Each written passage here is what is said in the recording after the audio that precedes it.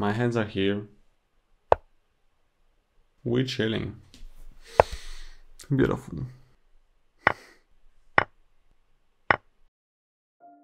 University suck.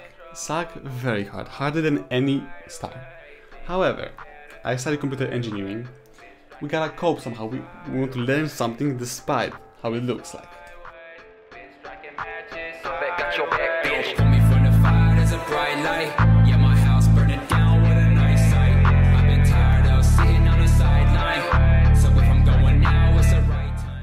I got a project for my computer vision class to make something, to make a project. I don't know. Like literally we come up with the idea and just do it with no help, no help. So when we have that opportunity, we want to learn something. We want to learn something that we wanted to learn anyway. And I was always fascinated by game bots.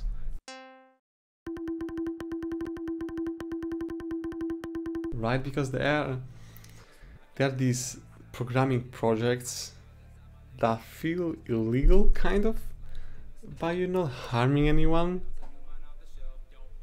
So i have an idea. Hear me out. This is a chapter. The idea. The idea is to make a chessbot that makes no sense whatsoever. Because nobody needs a chessbot nobody needs a chessbot like we have engines already. If you want to cheat you could technically but that's just no fun because the whole chess is about playing one-on-one with your own skill. You control everything right? It's not a boring mmo rpg game when you have to grind for hours and hours and bots can save you a ton of time. This is chess. Like nobody needs a bot for this. So that makes no sense. That's why we're doing it. We want to learn. I want to start my journey with creating bots for games with this project. And before we begin, we should make a research on similar bots and also bots in general to, you know, learn some things. I'm recording this after I made the bot, so I'll just get you through the most important links uh, that were useful in the process. First off, Code Bullet. I remember watching this video with an auto clicker.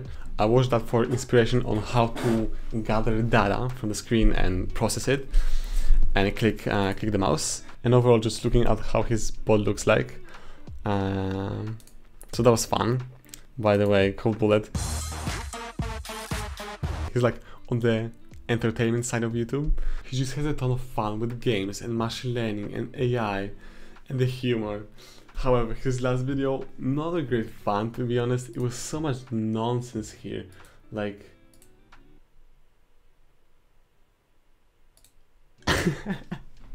okay moving on. Then i watched this video on finding a specific image on the screen of exact size. He was looking for the for the wheat He's image.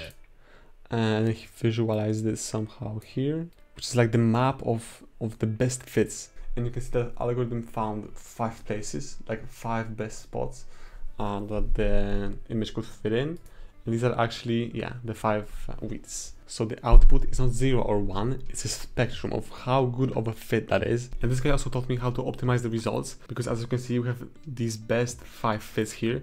But in fact these are multiple fits right here. It's not just one pixel one exact position. It's multiple around it as well. He visualized it here. As you can see some rectangles are thinner.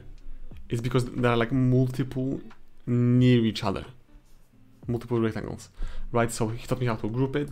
That was nice. That was a useful video. Then i watched the whole series from this guy learn code by gaming. Nine videos on image detection. And he goes step by step and this taught me probably the most. He explained the stuff very well.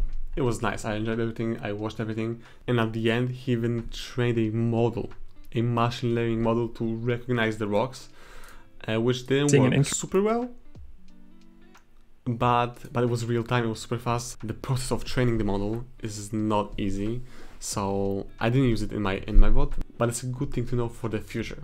It will not be my last bot. And then i made a proper research on current chess bots and what can i learn from the internet.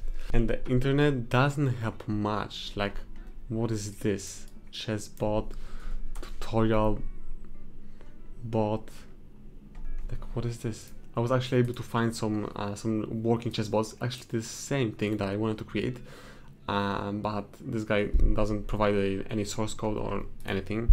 He just shows that the, the bot works. And it's like, I mean, good, good for you, man, thanks. But that doesn't help in creating the thing, except his libraries that he used. Interesting, very interesting.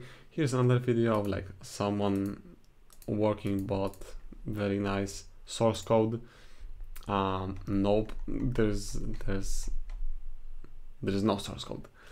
Um, I don't want to get into that, I guess. Then there's this.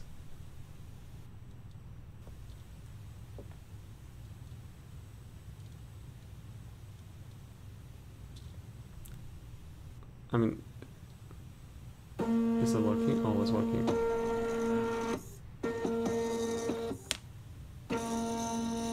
Nice.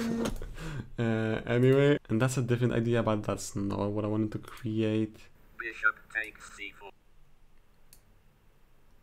And the only useful thing that I found on the topic on the whole internet was this guy, so small YouTuber chess programming, who made a whole series explaining his bot. Hey, what's going on guys? Coming against the heat. And this guy helped me the most, explaining the stuff, the libraries, the ideas. I really learned a lot here. So uh, thanks a lot, chess programming guy. And after watching his series, I was ready. I was ready to create my own thing. And there were ups and downs, but I made it. I did it not because it was easy, but because I thought it would be easy. What is the meaning of this? What? We don't have that many squares. This is our screenshot. These are the positions. Oh. Programming is my passion, and I'm so passionate. Nice. I'm happy. Oh, it's because I was incrementing it two times. Oh, that was that was stupid. How about now?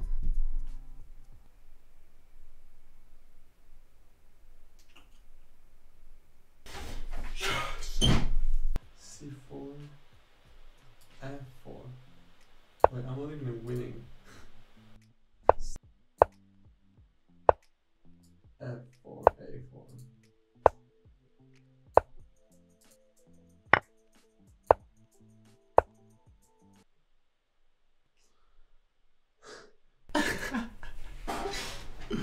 he left me to die, man. Yo, help me. Ooh. Wait, that's that's crazy. That's not the right position. I mean, I lost anyway.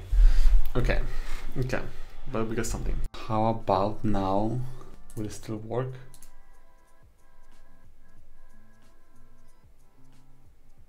Yes. Yes.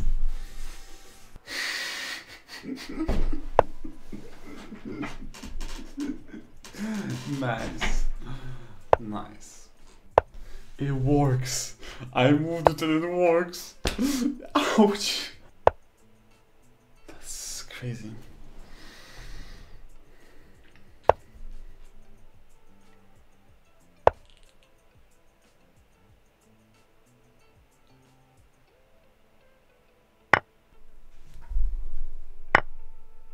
Okay.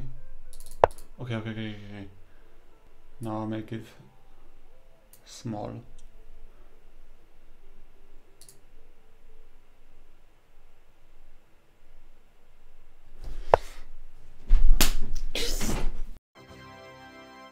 My hands are here. We're chilling. Beautiful. So what the bot does, it reads the position of chess pieces on the screen. It translates it to FEN representation. Then looks for the best move, plays the best move, and waits for the opponent's turn. And you can see here I'll stop, the, bot. You can see that even if I change the size of the window and pieces and placement and the whole thing, it still works. It took me a while. It took me a while. it works. Oof. What a move. Did you see it? very nice. Very nice. And we have a checkmate. Very nice, very nice. The bot can also play with black pieces, but it doesn't recognize the side automatically. So it doesn't really support both perspectives uh, of like flipped board coordinates.